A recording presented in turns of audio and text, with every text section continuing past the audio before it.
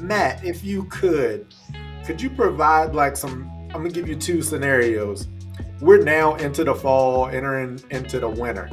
So there's a couple of things going on. leaves are falling, temperatures are dropping, soil temps are dropping.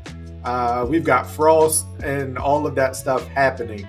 Um, people that have just done renovations or did overseedings, what can they expect from their lawn what they, what can they expect it to look like or things that would happen during this period of time.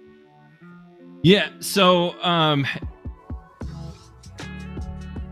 i guess i'll i'll put it this way and it's going to be a little bit harsh but give up trying to preserve the aesthetic right now. Um once we start hitting regular frost frost are going to ding it and you, may have a frost and then two weeks for the next two weeks it's going to be decently temperatured and you'll get a little bit of growth and then it's going to have a yellow haze across the the surface of the grass and people are going to panic and be like oh i need to put something on it. What do i need to do? What do i need to do? Nothing. Just leave it alone.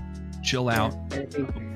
Once the the frost start just be done. You know, don't don't let the leaves pile up in certain areas. So you know, if you got to get a few leaves off or whatever, or run your mulcher over it to, to chop up the leaves, call it good. Uh, but but now's the time to to be you know, planning for next year. Start thinking about next year.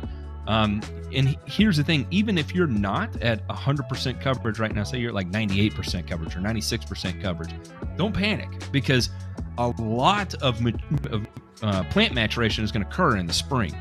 So literally check out right now. And that that would be my advice to everybody. Calm down, chill out, check out, get a bottle of whiskey, start drinking, you know, stay warm by the fire kind of sort of thing.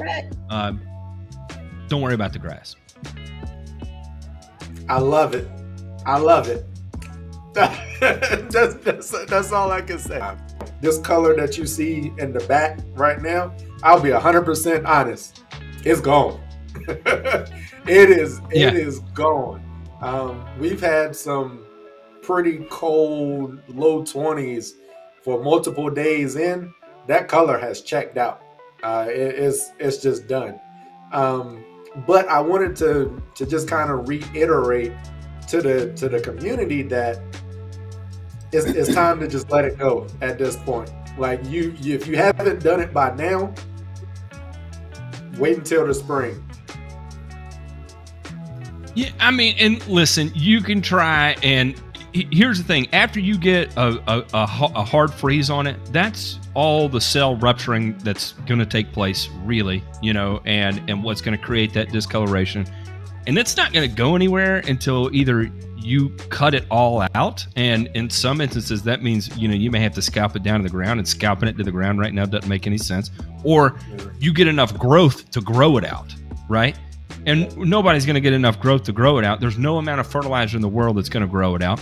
And so you, I hear, you know, this is kind of old, uh, old wives' tale you'd hear on on the golf courses, right? Is um, before a frost going out with like potassium nitrate or calcium, something that's real salty, um, potassium potassium chloride to try and keep the grass from freezing, right? right. So you raise the salt right. content in the leaf of the grass uh, to that way you, you raise the uh, you lower the freeze point of it and you may keep it green for another two weeks or whatever. We're beyond that. If you've if you've had a hard frost or a hard freeze and it actually froze your grass up to that point you're beyond it. You're not getting it back. Hang your hat up. There's no point in even chasing that.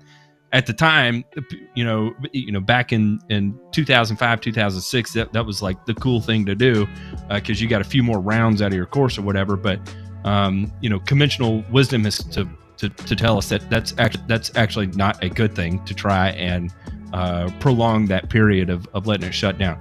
Let nature take over. You know, it's it's it's we'll never win the war against nature. You know, you may win a battle here and there, but at the end of the day, you know, we we got to check out and let it do what it's going to do because it, it's what's winning.